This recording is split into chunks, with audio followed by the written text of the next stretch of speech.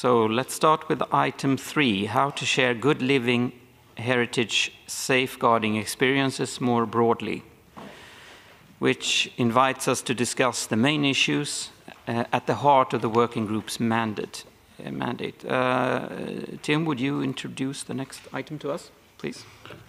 Thank you. Yes, thank you, Mr. Chairperson. Um, could I ask you to please refer to working document three, document LHE slash 23 slash 18.com WG, article 18 slash 3 rev. Uh, this document proposes various discussions, discussion points under topic one, topic two, and topic three, which is a short, short section because it concerns the any other business issues. Once again, this document should be read together with the report with the report of the Category 6 expert meeting for which we just heard, which carries the code EXP slash 7 or document LHE slash 23 slash 18.com EXP slash 4. So under topic one, you're invited to reflect on the ways of improving the utilization of the Register of Good Safeguarding Practices itself, both of, in terms of its accessibility as well as its visibility. The working group may wish to focus the discussion on the following three points. Firstly, the selection criteria for the uh, register Secondly, ways to increase accessibility and visibility of the register. And thirdly, the relation of the register with the other international cooperation mechanisms of the Convention. For topic two, which deals with four discussion points that are ultimately linked to the proposed creation of an online platform for sharing good safeguarding experiences. The discussion points that the working group may wish to consider here include, firstly, the pertinence of the online platform, the objectives of such a platform, some practical considerations on how it would be run, and finally, questions related to the administrative setup, financial and operational implications of such an online platform. And then finally, there's topic three, which focuses on other issues raised during the meeting of experts, and this included a discussion on additional financial resources and specific initiatives aimed at raising awareness about the scope of Article 18. Thank you, Mr. Chairperson. Hmm, thank you, Mr. Secretary. Uh, I would like to thank the Secretariat for this working document, which puts together in a concise manner the great variety of discussion points. Uh, may I propose to start our work with a general discussion? In this way, you shall be able to express your views of a bigger picture about a broader implementation of Article 18 of the Convention. My proposal would then uh, be to examine this discussion point proposed one by one, spending uh, about 90 minutes or whatever time we need each time. Um, anyone wish to comment on this working method? No?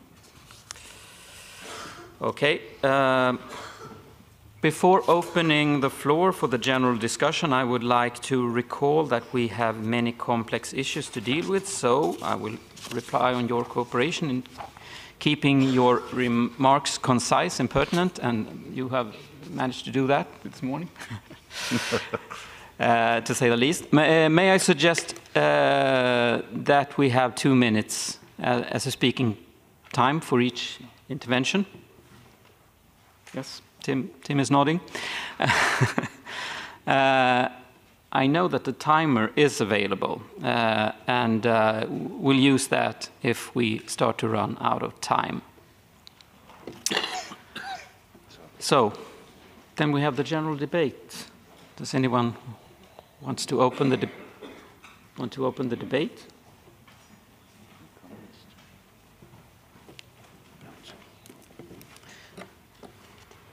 So Belgium, Belgium, Austria, yes. Yes. Oh, okay.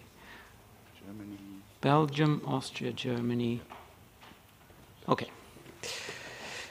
Please, Belgium, you have the floor. Okay. Thank you very much, and congratulations for your election as a chairperson.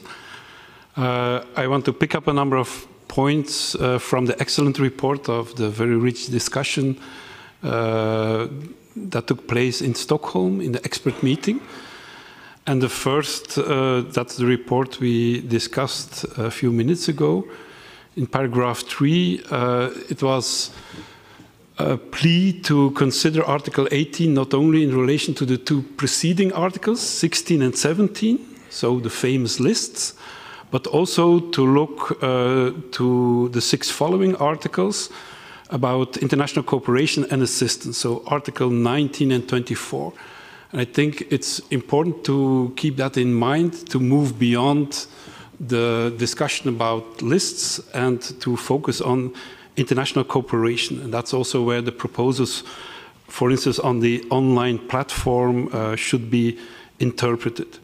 A second point of three I want to make is that uh, we should take oppor the opportunity to link uh, our discussion to the newer instruments like the ethical principles, and uh, the overall results framework and the new system of periodic reporting, not only in reformulating the uh, criteria for Article 18 and the register, but also to finally activate paragraph 4 of the operational directives, and I, I will quote it to keep it in mind.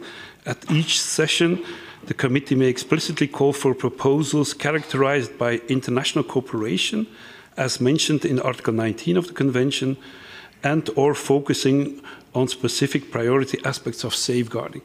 And I think this uh, paragraph 4 has not been activated until now, and I think we have a nice opportunity to actually do that. And uh, also in the report, several of the operation directives were mentioned, and I would also like to mention Operation Directive 9C, where the committee can support programs, projects, and activities carried out at national, sub-regional, and regional levels uh, aimed at safeguarding the intangible cultural heritage. Also, this uh, paragraph has not really been strongly activated. And the, the last point in this general reflection uh, we want to make is that uh, in paragraph 13, the follow-up is mentioned, uh, including how to uh, look at the sustained consent of communities, groups, and individuals, and also to think about solutions on how to deal with programs that do no longer exist. Because if you look at those programs, institutions uh, sometimes disappear, etc. So to have a kind of a housekeeping mechanism of those uh, elements on the register. So this follow-up mechanism, I hope we will be able to discuss about this. Thank you very much. Thank you very much. Uh, now we go on to uh, Austria is next on the list. Austria, you have the floor. Thank you, Chairperson. First, please let me express my sincere gratitude to the Secretariat uh, and the Government of Sweden for enabling this valuable exchange on such an important topic. I would like to uh, also like to extend my appreciation to the experts of the Category 6 meeting uh, who provided valuable insights into enhancing safeguarding practices, engaging stakeholders effectively and improving access to and visibility of the register of good safeguarding practices. Additionally, my thanks go to the Secretariat for the diligent efforts in preparing the necessary documents for, the, for this discussion. Our delegation welcomes this reflection on more broadly sharing uh, safeguarding practices and giving the communities a stronger voice uh, by improving their participation. We think that the central objective in all our endeavors that is that communities and their active participation are placed at the center of safeguarding ICH. Thus, the good practice register, above all, needs to be easily accessible and visible. Then we will also be able to enhance its potential for capacity building and for serving as an inspiration for communities and for stakeholders. We fully agree with the discussion topics and the working methods you, Chairperson, just suggested. For us, the most important issues to be discussed in these three days are exploring alternative ways of identifying good safeguarding practices. Secondly, the question of the relation uh, of the safeguarding examples listed in the existing register to the best practices that will be brought in with a lighter way of sharing as well as the relation of the then extended register to the representative list and the urgent safeguarding list.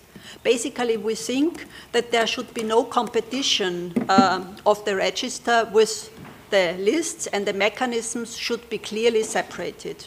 And thirdly, and related to point uh, to the revision of the selection criteria. We are looking forward to the discussions in the coming days and to our collaboration. Thank you. Thank you very much, Austria. Uh, I now give the floor to Germany, please. Euh, merci, Monsieur le Président, de nous donner la parole. Puisque l'Allemagne a l'opportunité de s'exprimer pour la première fois aujourd'hui, nous tenons tout d'abord euh, à vous adresser tous nos remerciements pour l'efficacité dont vous faites preuve dans la conduite de, de notre groupe de travail. Euh, afin d'aboutir à des résultats que nous espérons positifs pour l'ensemble de, de, parties prenantes impliquées. L'Allemagne souhaite exprimer aussi sa gratitude à la Suède pour son soutien à la réflexion, pour une mise en œuvre plus large de l'article 18 de la Convention. Nous remercions également le secrétariat et euh, les experts de catégorie 6 pour le travail précieux qu'ils ont réalisé sur ce sujet jusqu'à présent. En ce qui concerne le sujet 1, euh, améliorer l'accès et augmenter la visibilité du registre de bonnes pratiques, l'Allemagne encourage la réflexion sur l'ajustement aux critères de sélection afin de simplifier le formulaire complexe ICH3 qui faciliterait l'accès aux groupes intéressés tout en rendant les informations les plus essentielles plus visibles. Nous considérons que la création d'un système d'indexation de bonnes pratiques de sauvegarde pourrait aiguiser la compréhension de bonnes pratiques de sauvegarde auprès des communautés et autres parties prenantes et renforcer la coopération internationale.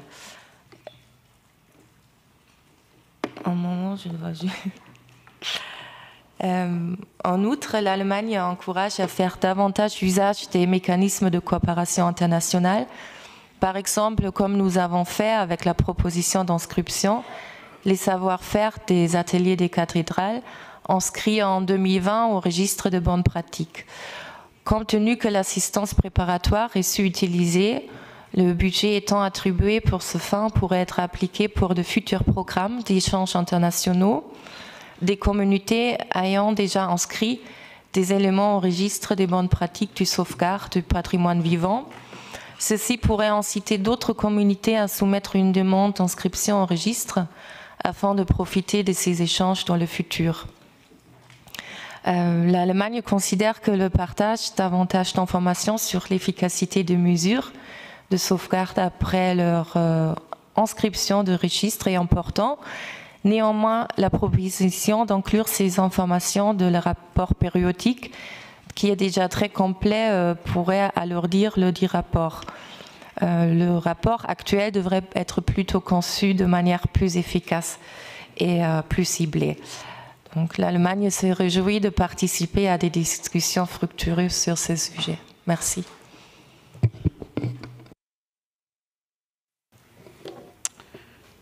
Vielen Dank. Thank you.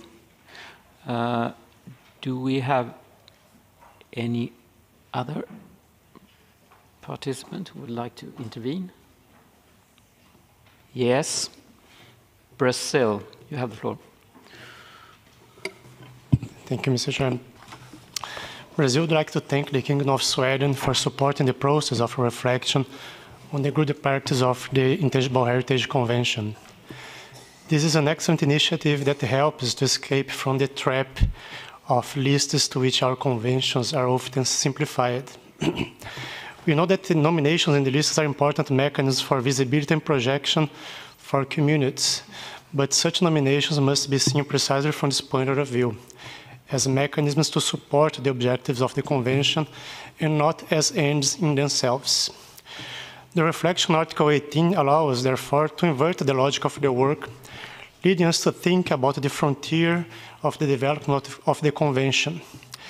If 20 years ago the main challenge was to give visibility to intangible heritage, now the challenge from our point of view is to think how intangible heritage can contribute to relevant agendas of contemporary societies such as climate change, urban development, social cohesion, and multilingualism.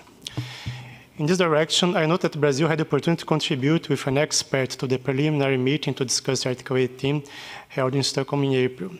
We take note that the pre preliminary discussions developed under the Secretariat guidance were very productive. We hope that the meetings here will follow the same constructive and representative spirit of the perceptions of our regions. Thank you.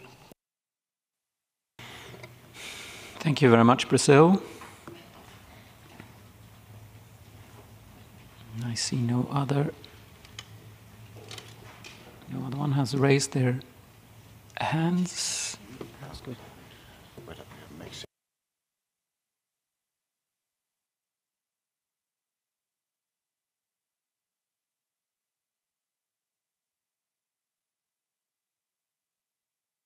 Okay, uh, I see that Mexico has raised their hand.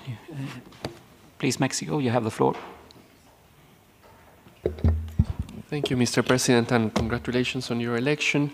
Um, we want to uh, thank uh, Sweden for the support for the uh, uh reflection on Article 18 and the organization of the experts meeting. We also want to commend the work of the of the experts, and um, we uh, we support the, the, the comments they they made and the recommendations they made um, uh, particularly um, on the adjustment of the registration criteria that have been applied up to now for registrations in the Register of Good Practices. We think there's a lot of discussion um, to do about it. Um, and also, um, we think it's uh, necessary to establish a follow-up mechanism for description in the Register of Good Practices, not only to meet the uh, commitments as the state parties, but also to encourage the cooperation between managers or um, site uh, or element uh, managers of the registered programs or projects and government, uh, but also with government agencies. And um, we also believe that visibility and the dissemination of the uh, actions for um, safeguard of uh, intangible are very important in all levels. And we cannot safeguard what we don't know. So it's essential uh, for us to make this uh, information and this knowledge to be shared in, at all levels, from communities to the to the main authorities in in in the countries.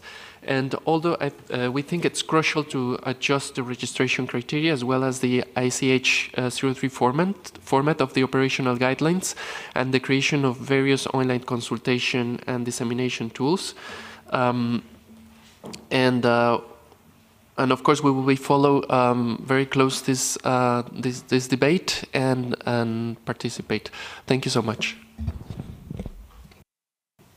Thank you very much, Mexico. I have on my list Kazakhstan, and then the ICH NGO Forum has asked for the floor. So, Kazakhstan okay. So we'll start with Kazakhstan.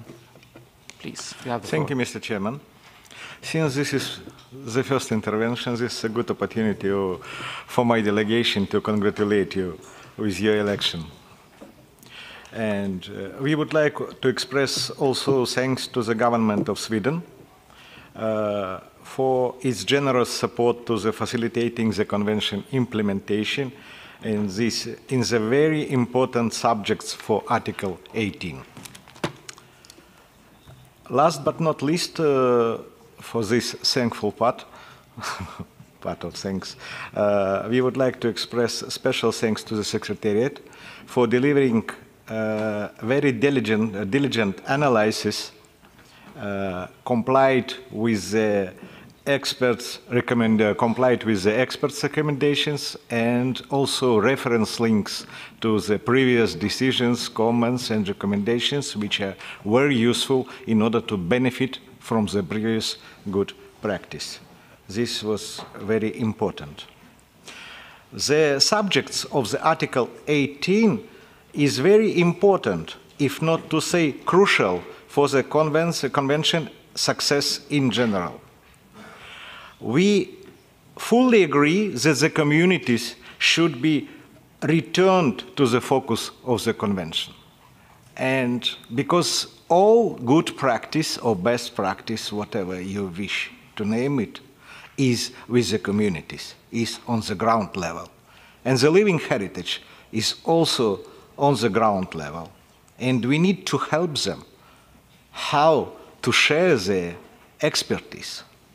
And most of these communities, at least in the majority of the world countries, may not be fully capable with six official languages of UN, and if we speak about two working languages of the convention, they normally they speak in their own language. So we need to also to consider this gap, this language gap. Otherwise, we will never help them how to share their practice, their practice and their safeguarding living heritage. And if they will disappear, or the youth, like in many countries, will look more for TikTok and other things, forgetting about their traditional, their traditional heritage, we will, we will lose it, we will lose it forever.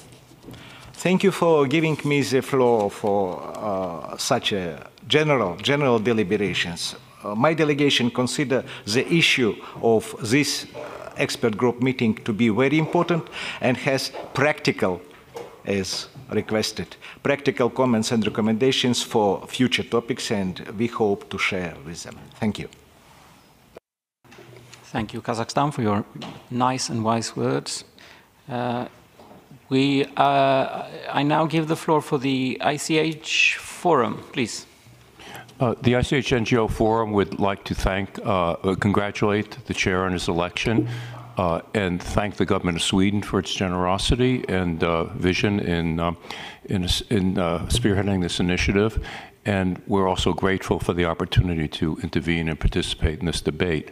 Uh, the ICH NGO Forum conducted a mapping project over the course of a year where we identified scores of good safeguarding practices through interviews and surveys of 85 accredited NGOs throughout the world, uh, the majority of which were from outside of Europe and North America. And uh, one of our findings, which I'd like to suggest um, enter into our deliberations, is thinking about what um, what safeguarding entails. So, you know, just very briefly, some of the things that it consists of, and I think this is part of the heart of the matter. It involves transmission through informal education. It involves the presentation of ICH, because through pre presenting ICH, bearers have the opportunity to keep a tradition, to keep ICH going. It involves documentation and archiving, cre creating a uh, permanent record of the materials collected through ICH for the use of present and for future generations. This is an area that's, uh, I think, uh, needs more attention within the uh, convention. Uh, it also involves practices that incorporate ICH for um, uh, uh, socially ameliorative purposes. We, we, found, for example, in, in, Africa and in Central Asia, that there's the use of ICH uh, for, as for mediation for domestic violence. Emergency situations was mentioned as well. Higher education is also very critical for the training of practitioners, training and management of ICH as well. And uh, we uh, went through the process of identifying domains. So I think it's useful to think about what um, safeguarding entails and uh, as the um, uh, the platform is developed for sharing uh, the, the, good safeguarding practices to think about how they would be categorized with regard to these domains and, and the ones which have been utilized. Thank you for the opportunity to intervene. Thank you very much. Uh, we now, I now have have Saudi Arabia on the list. Please, you have the floor.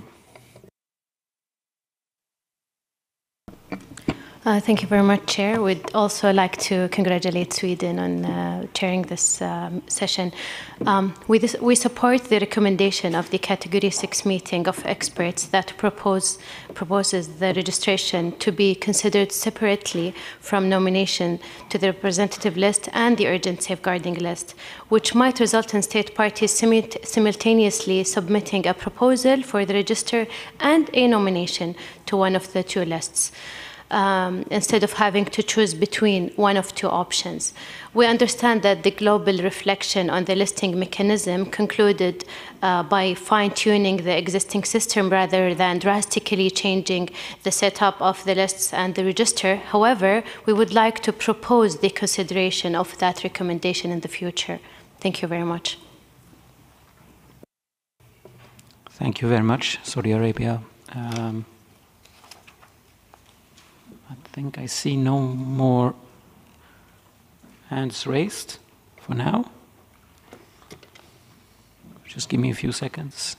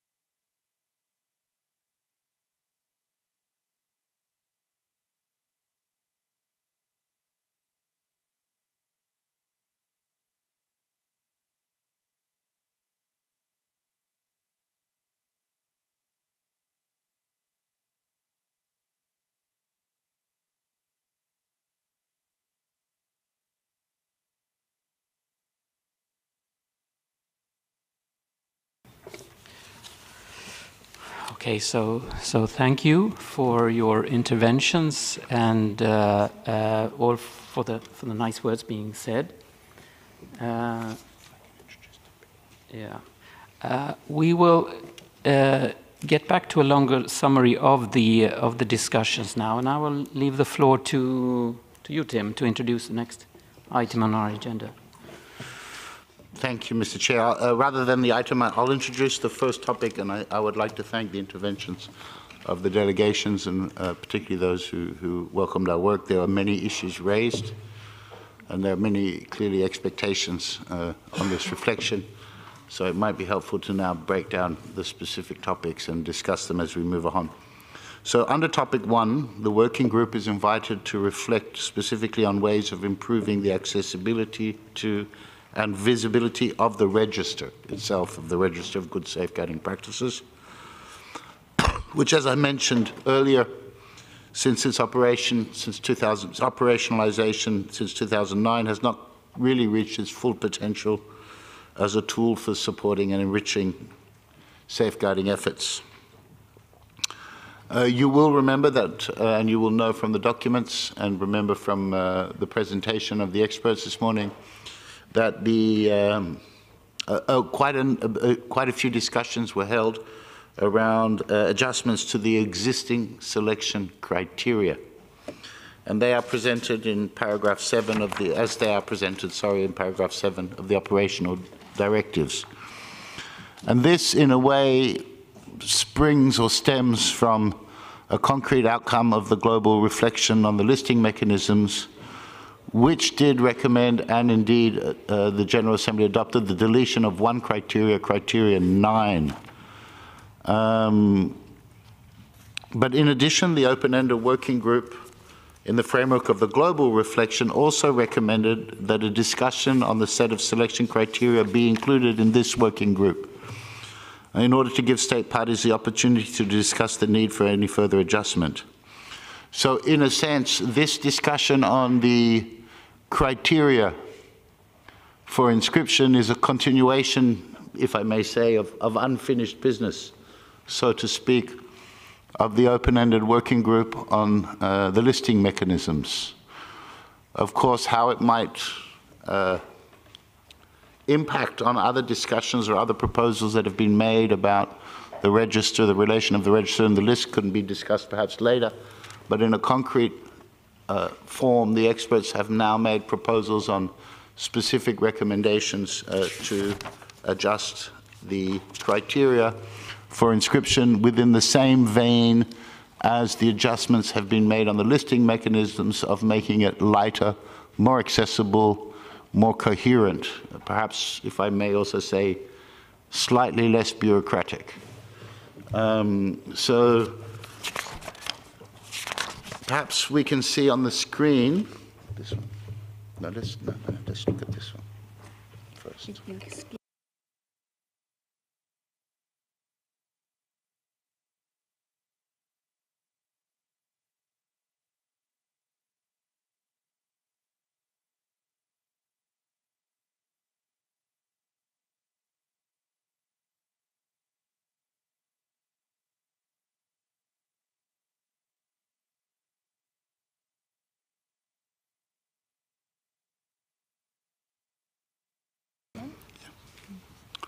So uh, this is a summary, and it's in your document, of what the experts proposed.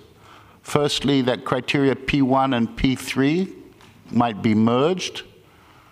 Um, because there was considered that the criteria should indeed focus on the description of the program of the activity uh, according to article in line with article 2.3 of the convention as well as, as we've heard this morning, uh, other things such as the ethical principles for safeguarding intangible cultural heritage. So that this could be, the two criteria could be then merged and these things incorporated. And that would also have one less criteria uh, for, for the submitting state to fill, and of course for the examination uh, process. Sorry, can we still have that, that, that thing? The second recommendation was that criterion P2 be deleted based on the consideration that some good safeguarding practices may be limited to local activities. Hence, criterion P2 may unnecessarily limit the diversity of the register when focusing on regional, sub-regional, or international levels. So the idea is also to, let's say, alleviate that requirement that um, that the, the, the programs have a scope at uh, regional or international levels.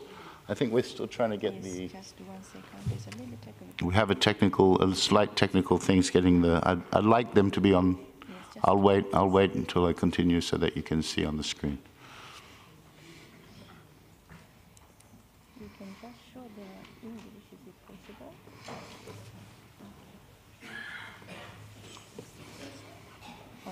Okay, so the, then the criterion P2, which is proposed to be deleted, and then we go up to criterion. Could you scroll, please? Could the screen scroll? Um, uh, the, the group recommended that criterion uh, P4 be kept, which demonstrates the effectiveness of the program, and that this should remain a requirement for selection in the register. Such a demonstration of the effectiveness should, might, might also need to include a description of the initial situation which called for the safeguarding and of the situation once the safeguarding measures had been successfully executed. Um, and this, yeah, then finally, criterion five should also be kept as experts consider that the participation of communities remain a critical requirement for the selection and again a reference to ethical principle 4 on free prior and informed sustained and free prior free prior sustained and informed consent of communities should be included in this criteria. And then it was recommended that criterion 6 could be deleted as a reference to the possibility of using selected good safeguarding practice as a model could be included in the combined criterion P1 and P3 or if criteria 6 is kept, it could be adjusted as models may also be relevant at the national, national or local levels and not only at regional, sub-regional and international levels. So there's two proposals there. One is to broaden it to include the national level. The other is essentially to merge now three criterion into one, one, three, and six.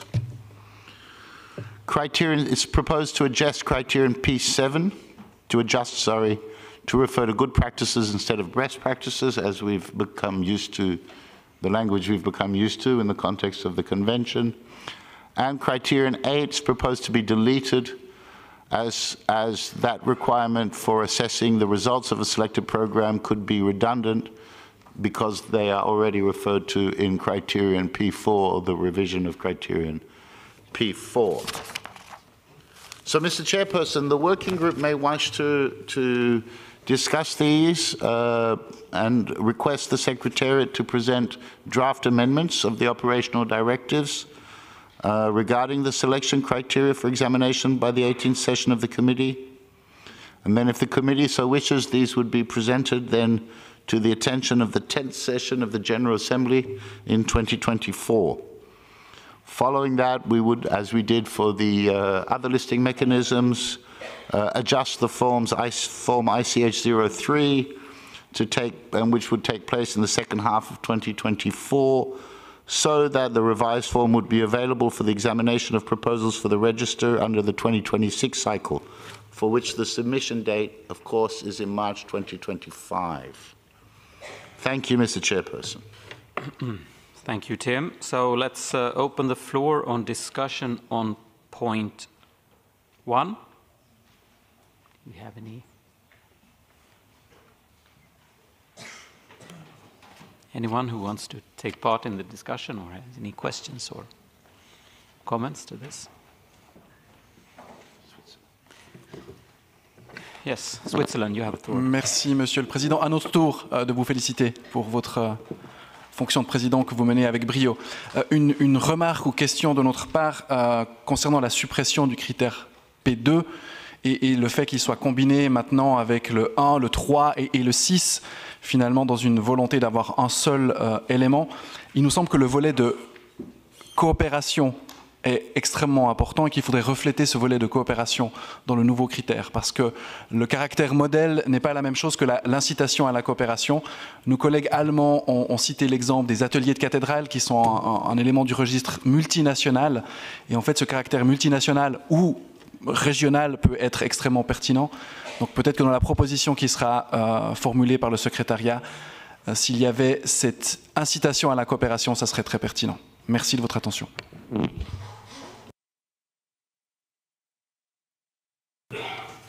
Thank you, Switzerland.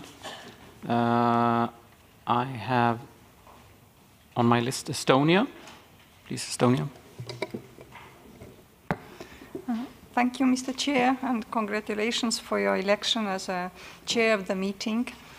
Uh, Estonia would also support the recommendations of the expert meeting to work uh, on the criteria and uh, simplify them. Uh, as proposed, criteria 1 and 3 could be uh, merged, and um, uh, criteria P2 and P8 deleted for the reasons already outlined. But uh, at the same time, we also believe that the interest of the states parties to submit uh, more proposals to the register is, uh, of course, linked to the existing competition between the lists and the register. Thank you, Mr. Chair. Thank you very much, uh, Estonia. Uh, I don't know whether we should comment on uh, um, the comment by Switzerland about deleting to, to yeah. yeah. Would you like to say a few words or? Yes. Yes. Yes, please, Tim. Just, just for clarity, I'm, I'm, um, I'm, I'm not clear whether you're suggesting we keep P2 or that we find somewhere else to reflect international cooperation. So I just wanted to understand that properly. So what, what we could have is cooperation, even regional, international, reflected in a new P1, uh, probably, yeah. Okay, thank you. It was just to clarify that. Um,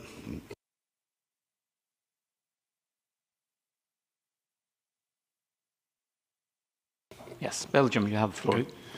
Thank you. Thank you very much. Of course, we support the several proposals made by the expert group, but I saw flashing by a proposal of the of uh, already some amendments. I think it would really help us to go over them one by one. Mm. Uh, because I, I think someone did his yes. homework and we can profit from that. yeah, someone definitely did their homework. I can, uh, I can vouch for that. Uh, uh, we, but we will get back to to um, to see the the um, the actual changes. So this is a more general debate about the, the propositions made. But but thank you. Um, okay.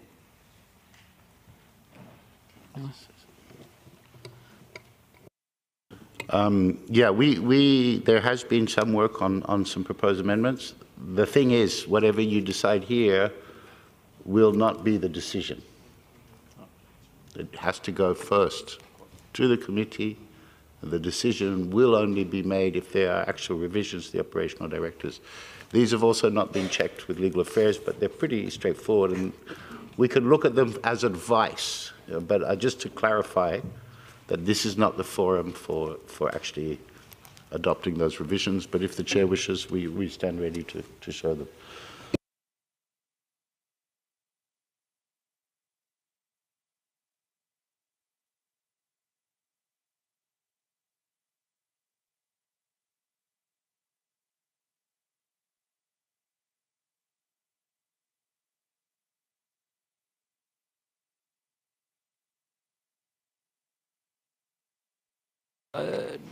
We could uh, uh, show the proposed uh, uh, revisions on the screen, if that would be to, to clarify anything. So, yeah, particularly perhaps in relation to yes, to, to uh, according to the proposal from from Switzerland. Okay, so it's it's coming.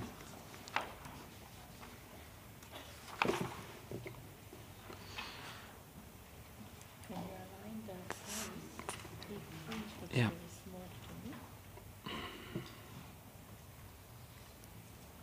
Okay. Um,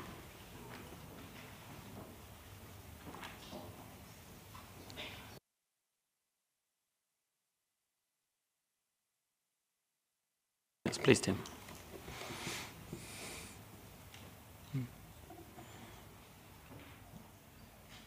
Should, should I read them out? Okay. Could we go back to P1? So this hasn't taken yet a comment from uh, Switzerland, but uh, again, this is a first draft to start thinking about mm -hmm. how this could look. Mm -hmm. So P1 could read something like the program, project, or activity involves safeguarding as defined in Article 2.3 of the Convention, reflecting the principles and objectives of the Convention. They may serve as a model for safeguarding activities. It's, it's, it's still a bit bit vague. And then I understand from Switzerland that we should have some kind of reference here to cooperation, nevertheless, and, and to foster cooperation. Hmm. Coordination and cooperation. Again, I don't know if we need to get into detailed discussions on the exact wording, but here we need to, to, to get the principles. Then the the point is two becomes deleted, three also is deleted because We've now merged P3 to P1. We go down, P4 stays, P5 stays. We keep going down. And P6 somehow merges with P1, and I'm not sure we've, we've quite got that, but I think that also responds to Switzerland's concern earlier, and we probably need to find some wording under P1 to, to, to capture that. P7 has the small change we discussed from best to good, and P8 goes. So I think we, we would have four or five criteria now, maybe. Yeah. yeah. P6 sub-regional, regional, international goals because the expert says also national is yeah, important. Yeah, I know, I know. But, but, but we just heard the comment from Switzerland, which yeah. is also... Yeah. Okay, Switzerland, you have the floor. Merci, Monsieur le Président. En effet, dans la, la nouvelle version du P1 euh, qu'on voit à l'écran, il pourrait servir de modèle à des activités de sauvegarde. À la suite, nous pourrions ajouter l'esprit de euh, la promotion de la coordination qui était dans le, dans le P2 et de modèles régionaux ou subrégionaux que nous avions dans le P9. Donc, il y aurait la possibilité, sans, sans drafter maintenant une, une, une formulation conc- concrète, ils peuvent servir de modèle à des activités de sauvegarde et aider à la coordination des efforts de sauvegarde. Quelque chose dans cet esprit-là. Okay, we'll, we'll work on the wording, so the Secretariat will get back. Yeah, I, I just, yeah, it'll be a bit important because if we put and, then that becomes an extra obligation. And I think what the, what the, if I understand, and I'm trying to understand, what the expert, experts were suggesting that the international dimension not be a requirement. But you're saying we don't want to lose it as well. So we want to keep, if I understand, we want to keep the encouragement of uh, cooperation, international cooperation, but not exclude safeguarding practices that may be relevant to a very specific context. So, again, we don't need to get into the long discussion now, but that's why the word and could be then interpreted as it must be also. So we'll have to, to work on that. Uh, but I think we need to take note of this comment and see if there's any other. Yes, Belgium, you have the floor. We do understand the proposal by Switzerland, but it's, is it the criterion or not? It's, it's the follow-up, what you can do with it. And I, I already mentioned uh, operational uh, directive paragraph 4, where there can be a specific call for these uh, proposals that support cooperation and stimulate cooperation. So I'm not sure if you have to include it in the criteria, but it definitely definitely has to be somewhere with a strong recommendation. And, and I have also a question for that. If we look at uh, the sentence that is just before P1, that best satisfy all the following criteria, it leaves some room for maneuver. Sometimes that's useful, but it's stronger if they have to satisfy all criteria. Uh, and I'm not sure, do we want this room for maneuver, or as we only have four criteria, they actually have to satisfy the criteria. So I would propose to make that a little bit stronger. So the proposal is that we should take away the best and just keep satisfying. Uh, Yeah, this is a question um, that I have in my mind, and I think that was just raised by the Honourable Delegate of Belgium, is as you know, uh, there's been, the, for, for the Register of Good, uh, Good Safeguarding Practices, it has not been necessary in the past to satisfy all nine criteria. However, for the other lists, it was necessary to satisfy all five criteria.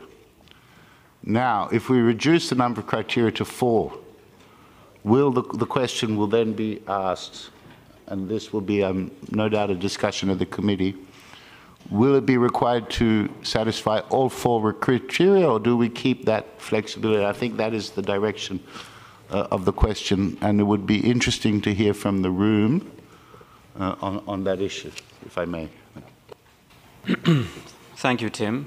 Are there any uh, reactions from other participants? I see Peru. Just wait, wait a second if there are anyone else who would like to comment. I see none. Um, please, Peru. You Thank you, President. Uh, we have just a small comment regarding this, uh, this proposal.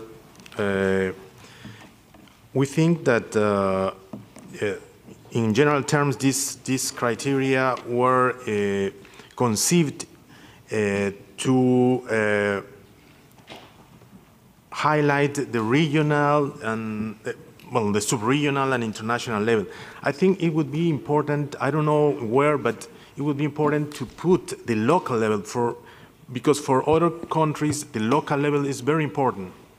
Even though, even though it cannot have the visibility in international level, for the, the local communities, it is important. So I think we can imagine, I don't know how and what point, but the, the, the point, the criteria six, I don't know if keep it there, but in any, in any, in any way, if it, it is possible to uh, put the, the, the word local, if possible. Thank you. Thank you. In some way, highlight uh, the local level uh, within the correct paragraph. We, will take a note of that. Thank you, Peru. Uh, yes, Austria, you have the floor. Yes, thank you very much. Um, in general, we wanted to comment that we support the reduction of the criteria um, as proposed by the expert group and um, also the suggestion by our colleague from Belgium to, if there is a reduced criteria of four, to delete the word best. And um, also going back to the colleagues made by Switzerland, maybe there will be some good formulation coming up that adds uh, to P1. That's our comment on it. Thank you. Thank you very much, Austria. Anyone else who would like to make a comment on this? I yes, I think we have a, a Czechia. Sorry, sorry, Czechia. You have the floor. Thank you very much, Mr. Chairperson.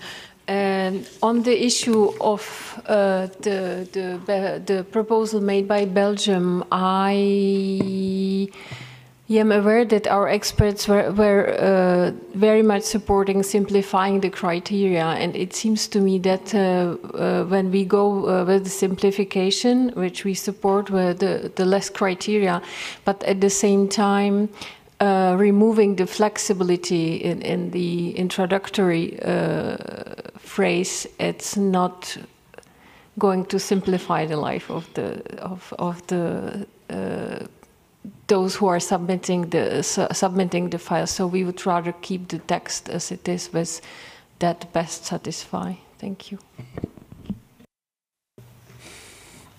Thank you, Czechia. Any other comments to this? This, okay. Okay, so we have two proposals when it comes to this. One is that we should uh, delete the word best, mm. and the other one is to, to keep it, as Czechia said, just to keep it more, more flexible. Perhaps we should try to find a wording that that's uh, or yeah. Please, Tim. Yeah, no, I think I think this will be a, this will be a debate because I don't, I don't think there's another word that's going to change the issue. Either it's all four criteria, mm. or it's not, um, and and and it stays four, but you don't need to satisfy all four. So. Norway has the floor. So, so I don't know if, I think those are the two concepts on the table. Yeah. Yes, thank you for clarifying. Uh, we have Norway and Belgium on the list. So please, Norway. Thank you, thank you, Chair. Let me also join in the congratulations and uh, the, and the thank you to Sweden. Um, we are also supporting the simplification as uh, all other speakers here are doing. Uh, I don't see the difference in uh, dealing with four or dealing with nine criteria with the introduction uh, sentence. Uh, if you take away best, then you are still pointing at you have to follow all the following criteria, but you could take away all, and you are the one that are, are following the best, that best follows the criteria. We can just let it stay. If it's not been a problem uh, uh, until now with eight or nine criteria, it will not be a problem with four criteria. Thank you, Norway. Um, Belgium, you have the floor. Yes. But our concern is to try to get some minimal credibility. If, if we accept a proposal that is not about safeguarding or that has no community involvement and consent, I would not like to support this kind of register of good practices that has these kind of proposals on it. So I, I, think coming with simplification, it's also an attempt to keep at least this minimal credibility of, of good uh, project. But I'm in your hands. I think this has been a, a topic of discussion for many years, and uh, now we have the chance also to simplify it and say it has to be about safeguarding. You have to have community consent, etc. And, and these are minimal requirements, we think.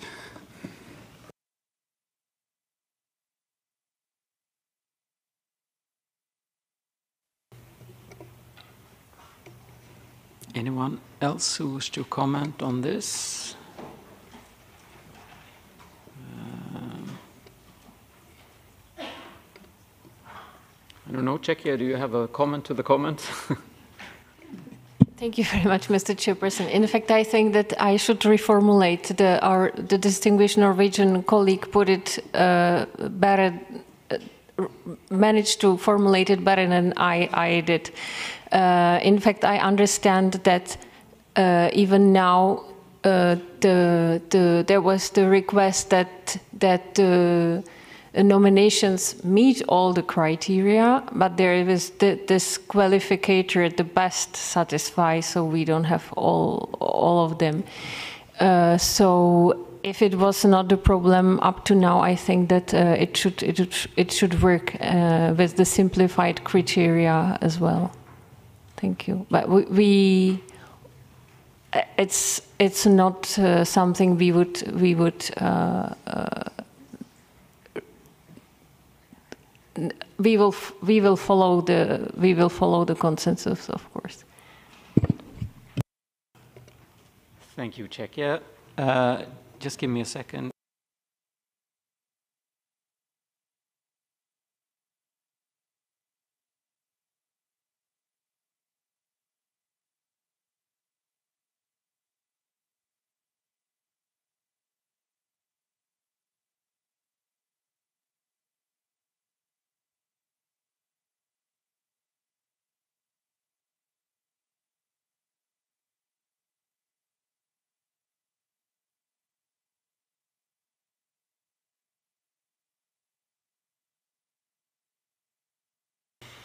Okay, I'll leave the floor to you, Tim. No, to- I, I, I think this, this issue, the, I think it's very clear. I, I, just for the sake of history, if we looked at the documents when the first criteria for the list was set up, it was decided for the representative list and the urgent safeguarding list to have a small number of criteria for which it was compulsory to meet all of them. And for the international assistance and the register, it was decided to have a larger number of criteria, but not necessarily required to meet all of them.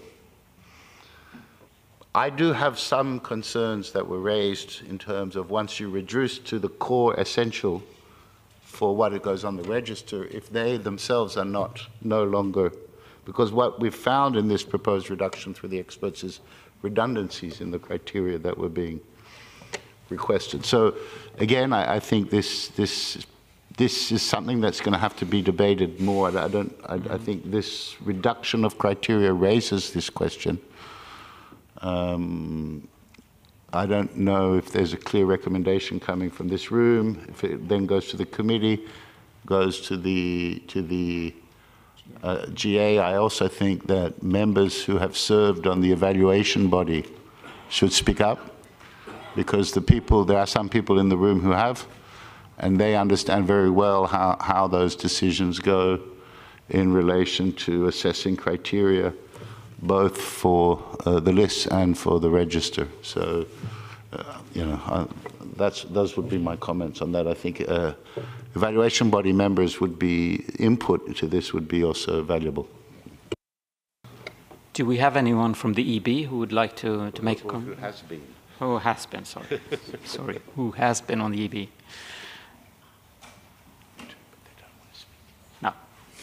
we do, but they don't want to speak.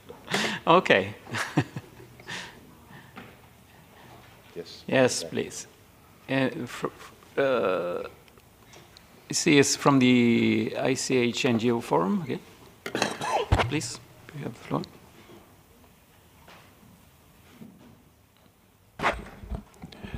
Yeah, uh, good morning, and thanks again to the government of Sweden. So we have been part of the evaluation body, and for the criterion one, we think that it could be problematic to use the verb they may serve as a model.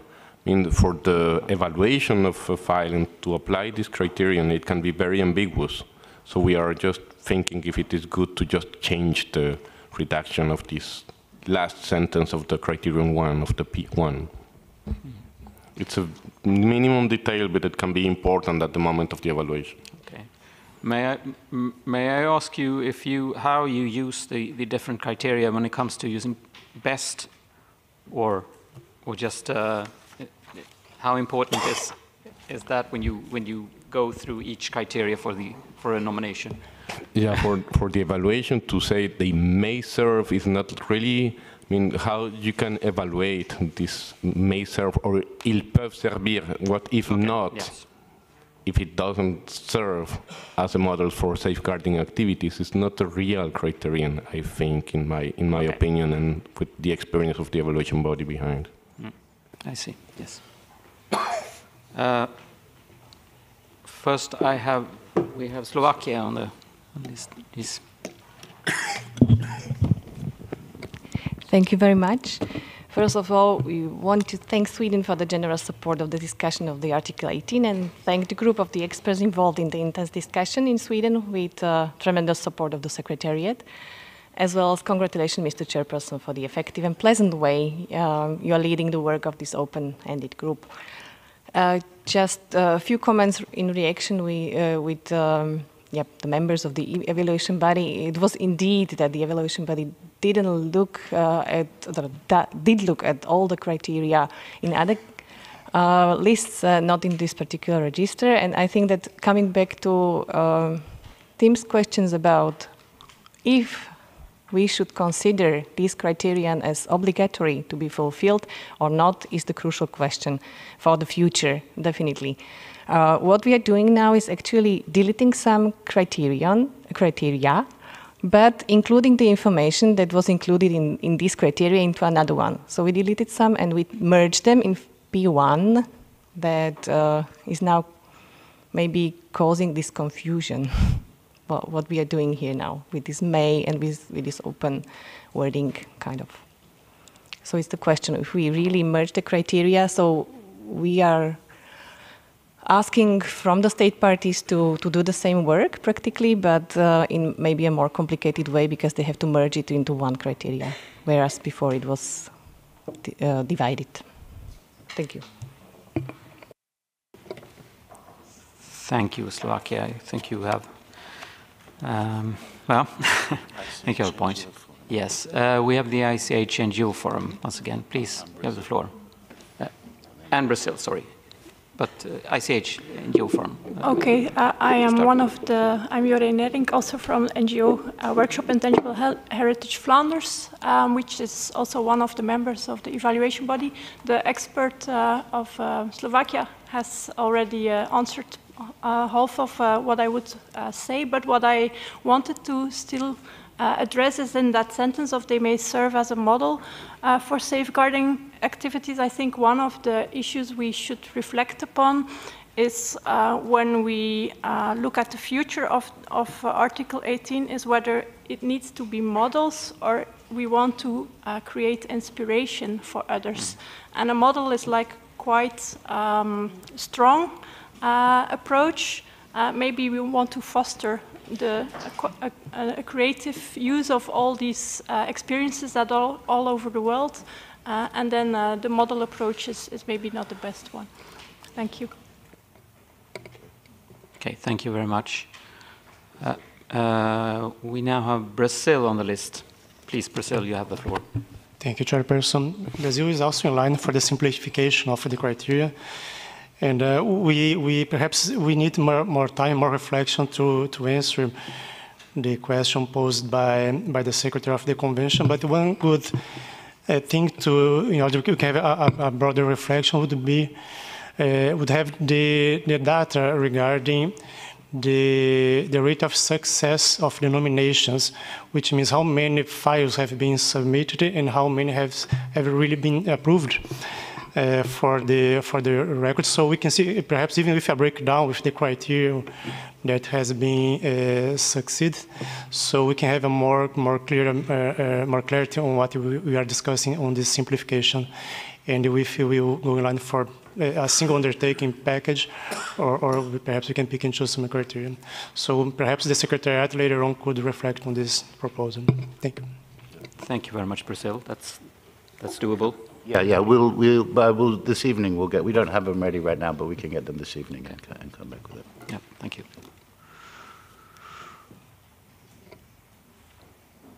Uh, I see no other ones. Okay. So the next step, we will move on from this, uh, from this discussion and, and we will get back with the wording later on for, for sorry, Tim, yes. I think, I think we've taken, I mean, this was why we hesitated a little bit to go to the wording, because we're preempting the discussions of uh, the committee and the, and the General Assembly. Nevertheless, it's been extremely helpful in understanding, I think, some of what's going to emerge. So perhaps we can put in the report, I think uh, we can, if, if you so wish, Mr. Chair, uh, the, the, recommend, the, the request from Brazil could, could shed some light on how, how it's been operating, and perhaps this could come back to, the, to some discussion when the recommendations are being formulated of the group. Yes, that sounds like a very good idea. Uh, so uh, I suggest that we move on to the second discussion under uh, discussion point under topic one, which concerns other ways to increase accessibility and visibility of the register beyond the criteria. So uh, it's your turn once again, Tim.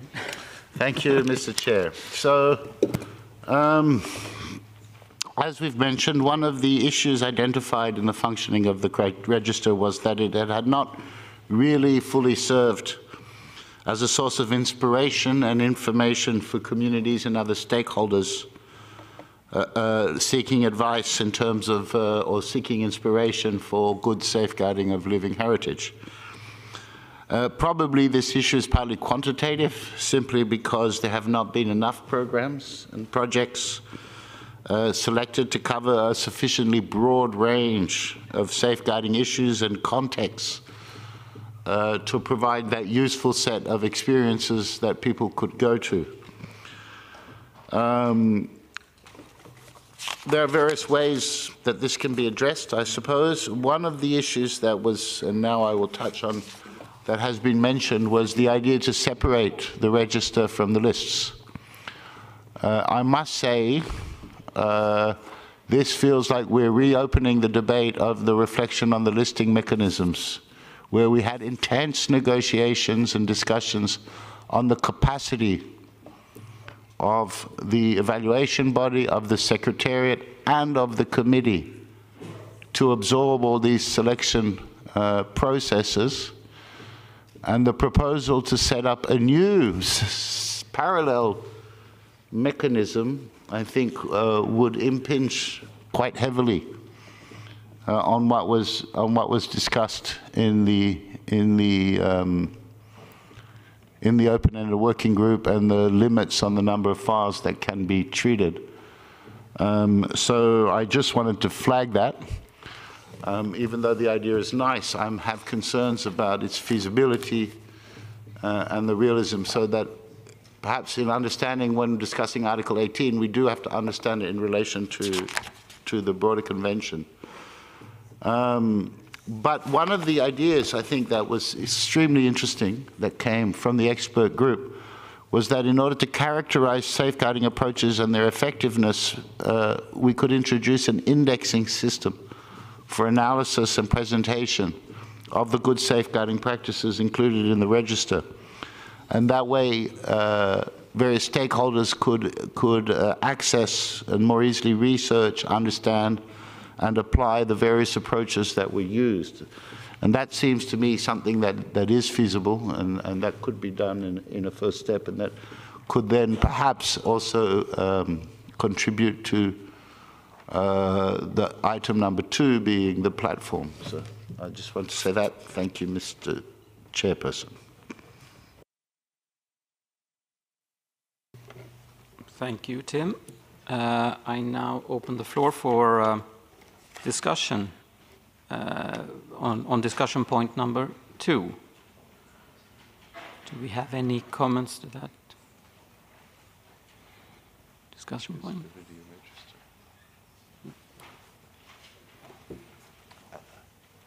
Estonia, China. Okay. So, Estonia, Oh, Latvia, Latvia. Latvia. Sorry, yes. I always confuse French and English. Yeah, Latvia. So we have uh, Latvia and then China. Thank you. On behalf of Latvian delegation, I would like to thank you, Mr. Chairperson, for giving us the floor. Latvia considers the sharing of safeguarding experiences being an important aspect of the implementation of 2003 Convention. And therefore, we are pleased to participate in the exchanges of this open-ended intergovernmental working group. And we are thankful for the Kingdom of Sweden for supporting this reflection process. Regarding discussion point two, Latvia believes that the accessibility of the international register is uh, closely linked to the processes of implementing the convention at the national level. Therefore, we would wish to express our support to encourage state parties to create registers of good safeguarding practices at the national level. This also may raise awareness about the interest in sharing such experiences and also further uh, encourage proposals of such practices to be submitted at the international level. We also suggest that for the purpose of raising awareness about various approaches uh, for safeguarding intangible cultural heritage, information on national in inventories that include selection of good safeguarding practices should be presented on the possible online platform for sharing good safeguarding experiences. Thank you.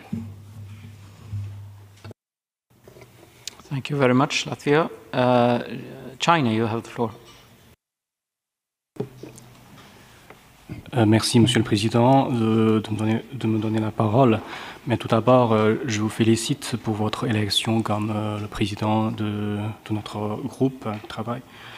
Et la Chine souhaiterait souligner euh, qu'il est important que le registre doit être euh, euh, examiné de manière, séparée des candidats des, deux listes. C'est juste notre euh, notre proposition, on est, on est d'accord euh, avec euh, la, la, recommandation formulée par le groupe de travail des, des experts. Merci, Monsieur le Président. Thank you very much, China.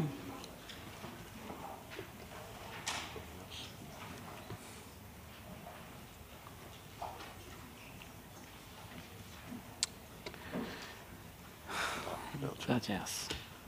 Yes, I saw. Um, okay. Uh, Belgium, you have the floor. Okay, the discussion about visibility of the register is also the housekeeping. Because on the register, if you look at it today, there are several dossiers there that actually do not longer exist. If you try to contact the persons, the organization behind it has disappeared. So we should be able to, to see to what extent the information provided on the register is still active, if you can still obtain it. And it's partly linking up to the discussion of the online platform. But I do think we should have some kind of an evaluation and perhaps also an elegant exit of elements if, if it's needed. So this is part of this visibility part of it what should be extremely visible, visible contactable, etc., et and something more for documentation. So we can, might start to reflect on this. And uh, we've closed down the discussion point one. I hope in the end we can perhaps uh, come back because I think don't think our work is quite finished. Uh, and in the document in, in 8.c, it refers to uh, this kind of follow-up and uh, trying to describe the situation when it starts and then the, the situation after it has been executed. Perhaps that should also be part of uh, what this register is about. So my plea is, can we start discussing about housekeeping the register and making the distinction between still active uh, programs and programs that are actually part of an archive. Thank you.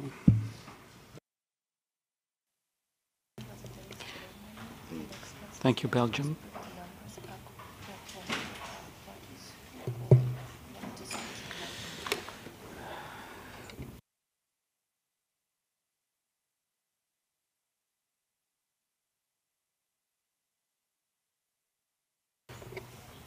Thank you. Uh, yes, the NGO forum has raised their sign, so please, the floor is yours again. Thank, thank you, Mr. Chair. I would like to support I mean, the comments from Kazakhstan earlier about the language. I mean, the, the, the register is in English and French, and uh, I mean, I am from Latin America, and during Latin America, less than 5% of the population in Latin America speaks English or French. So if you want the communities to access the register, something should be done with the language. I mean, you have eight working languages, so something has be, needs to be improved in that matter. Mm-hmm. Thank you very much. Tim, do you want to comment on that? Yeah, just to remind that a decision has already been made and it concerns the register in the reflection on the global listing mechanisms that all nomination files submitted may be submitted on top of English and French. We still need English and French for the evaluation body process and for the examination process. But as of this year, we can receive files in any language of the community, and those files will go online. We will not check them, we will not verify them, um, but we will make them available so that communities can actually read the files, the nomination files in their own language. Um, this has already been decided, so it will also apply to uh, good safeguarding practices that are submitted. So I think it's already taken care of. In as far as we can manage, you will understand we obviously cannot manage translation in all the languages of the world and, and all the different community languages, but we can put them with a disclaimer that this is not UNESCO verified content, but we can put them on the on the web page in with the file so that communities may access them, and that will happen as of as of this year, as of this cycle. Thank you.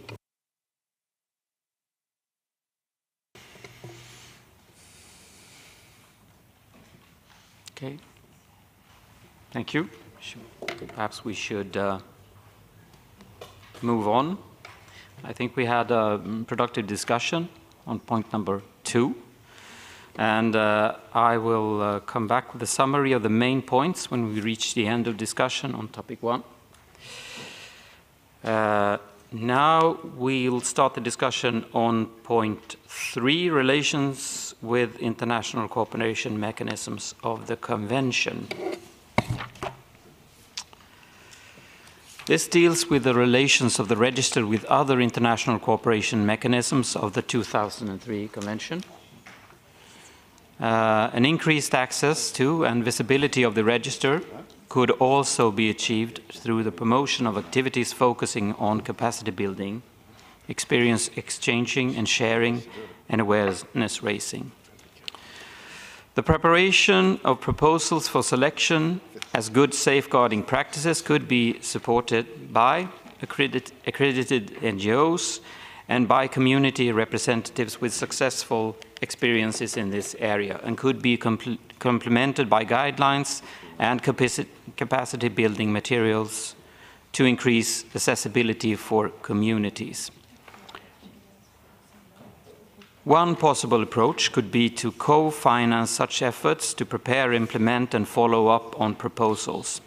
In this regard, it's worth noting that paragraph 2 of the Article 18 and operational directives 21 to 23 provide that state parties may request preparatory assistance for the elaboration of proposals for selection in the register.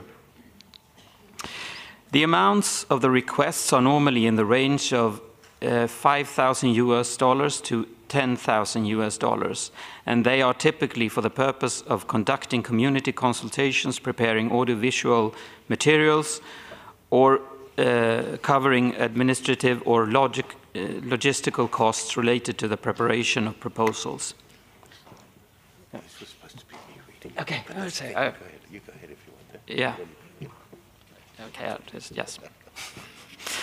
Uh, yeah, okay. Uh, should I take a, no, no, no, I'll, I'll finish it up. Okay. This possibility, however, has not often been utilized by state parties, and the international assistance mechanisms remain underutilized for the purposes of eight, Article 18. In addition, in order to realize and harness the full potential of Article 18, it may also be relevant for the working group to reflect on the usefulness of setting up a follow-up and monitoring system for the register in order to learn about post-selection experiences. It would be pertinent to reflect on, on whether, and if so how, information and follow-up and monitoring could be integrated in the periodic reporting framework. Given the already extensive scope of periodic, um, sorry, periodic reporting exercise, which requires reporting states to answer so many questions, we need to be cautious not to make the system heavier. For this reason, it would be pertinent to engage researchers to pursue these endeavors. Furthermore, the periodic reporting mechanisms, and in particular Form ICH 10, could be revised to encourage state parties to give updates and actions undertaken in the implementation of Article 18. Uh, this was from your. Uh, I, took the part from your script, Tim, but uh, I hopefully I, uh, I summarized it quite well. Okay. So, uh, with this introduction, um, let's open the floor for discussion on, on point three, if there are any.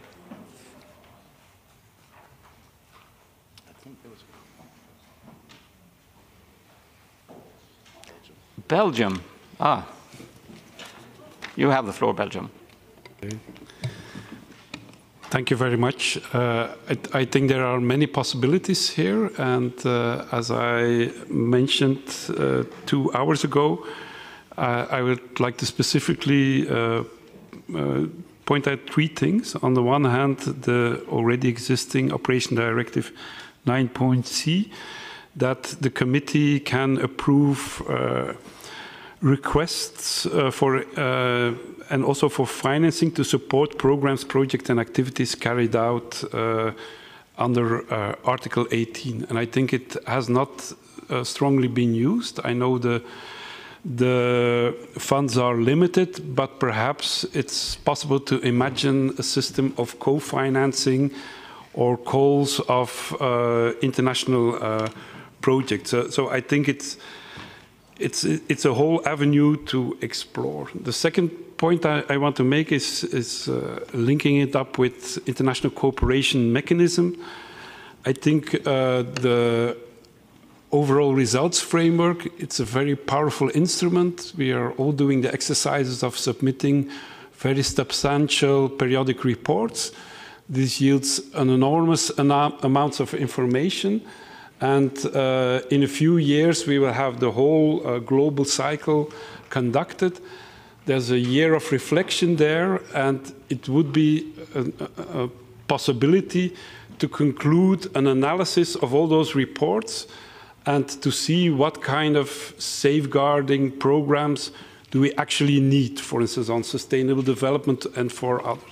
And that's a way to uh, activate uh, the operation directive number four, where the committee can explicitly call for programs and projects around specific priority uh, aspects or uh, proposals for international cooperation. And, and, I think it would be useful to try to link the overall results framework, the global exercise of doing periodic reports, and then going for calls to please submit interesting examples to uh, this register of Article 18.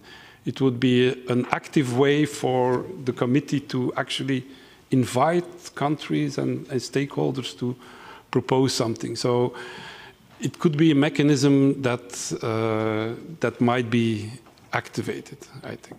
Okay, thank you. And I hope someone will react to that. Thank you very much, Belgium. We'll see. Uh, Latvia, you have the floor. Latvia joins the interest expressed in learning about post-selection experiences concerning the selected safeguarding practices and their impact after the selection. Therefore, we would support finding a space for sharing such experiences through the periodic reporting mechanisms. Thank you.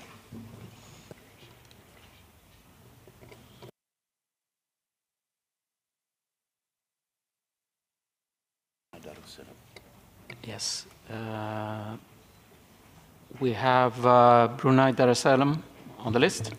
You have the floor, sir. Yeah, thank you, Mr. President, and uh, congratulations to you as Brunei Darussalam is yet to send its own nomination um, to this uh, register and, and to the ICH convention and part of the uh, international community uh, visibility. Uh, the consideration of this article is very important where strong role is placed for communities and individuals. We also agree with the recommendations by the expert working group um, as per accessibility and visibility of the register, uh, I come back to item number two. Sorry for this uh, late intervention. The register has helped us in learning the processes and good safeguarding practices. And um, as far as, as number three, uh, in relation to the international cooperation mechanism, Brunei Darussalam is also a member of the Association of Southeast Asian Nations, known as ASEAN. ASEAN and UNESCO has signed a cooperation agreement in 2013. So as a suggestion, uh, uh, is it possible to tap on the existing MOUs between UNESCO and other international cooperation mechanisms? Thank you, Mr. Chairman. Thank you very much, uh, Brunei uh, Darussalam. Uh, do we have any other one who would like to comment? Yes, uh, Tim. Sorry if you. Uh, I see no other hands raised.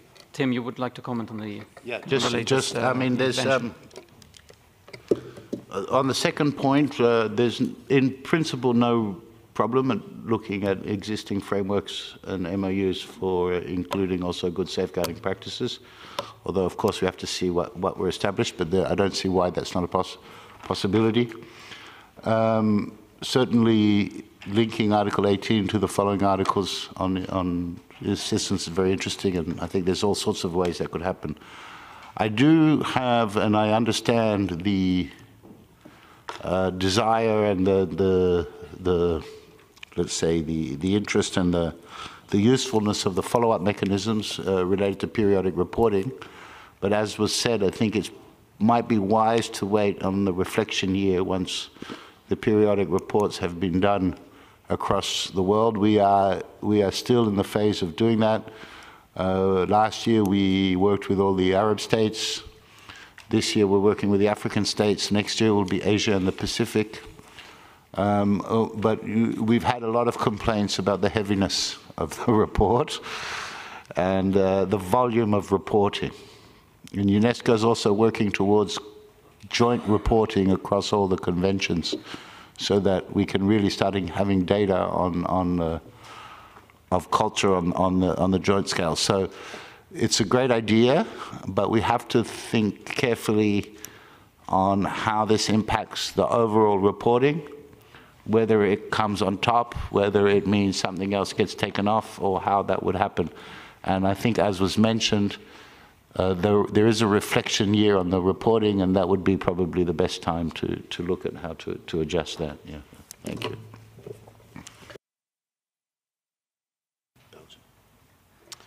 Thank you, Tim. Uh, Belgium, you have the floor. I, I do understand, but uh, the plea is to not just use that year for reflection, but also for action, and to connect it to Article 18 Otherwise, we lose another five years. And so when we have this reflection year, we will consider all those wonderful proposals, all those programs from all over the world, thousands of pages, and these experts and, and others, they will be able to uh, either identify very interesting uh, programs and we want more of them, or things that are not addressed at all, and we also want those and to, to use that reflection uh, year to introduce this. And this would help actually uh, activating the overall results frame, framework, which is a theory, part of the theory of change. And so this is a dynamic model, and this is a way to, uh, we haven't really thought about how we will activate the overall results framework. And this might be a possibility to activated. So to transform the year of not only reflection, also a year of action. Thank you. Thank you, Belgium. Uh, Brazil, you have the floor. Thank you, Chairperson. Um, we, we do see uh, a merit on the idea of having the good pra- the following up mechanism to the good practice uh, mechanism. But uh, perhaps this uh, leads us to the question raised by our colleague from Belgium in the, the last item regarding the duration of the good practice.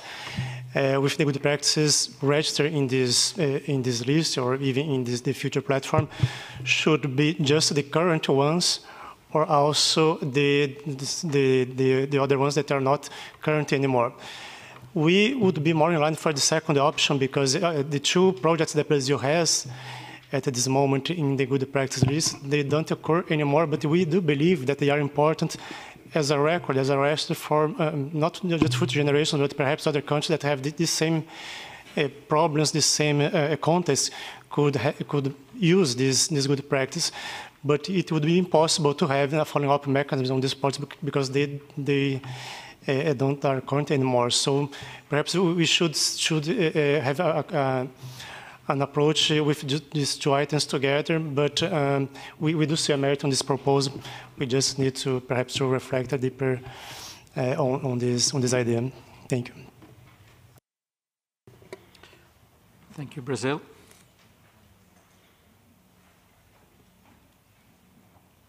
Um, I don't know. Tim, do you want to comment further on the uh, on this? Uh...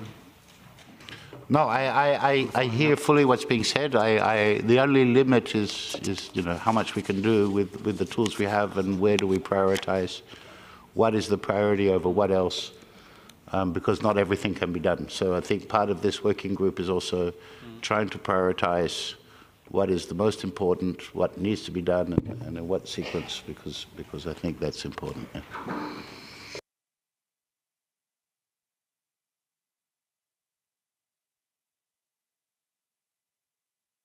Sorry. Uh, thank you. I see no other hands raised. What I would like to do now is to, uh, to uh, start the session um, this afternoon with a summary of the, uh, of the discussions, if that's doable. We have 15 minutes left. Mm -hmm. do we, what or do you...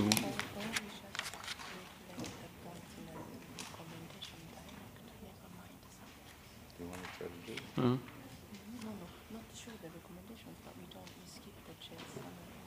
Just a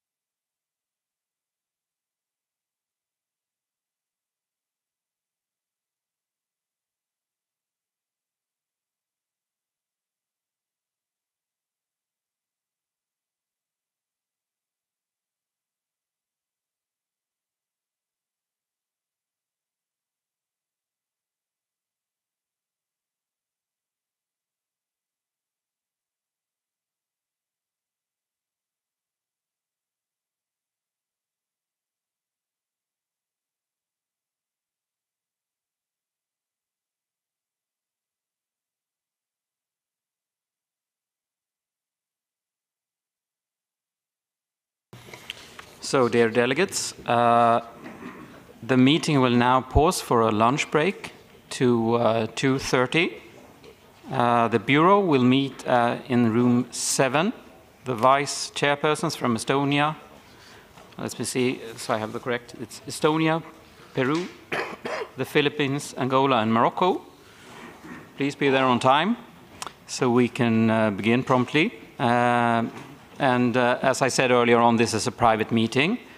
This room will remain open during lunchtime, so please do not leave your personal belongings.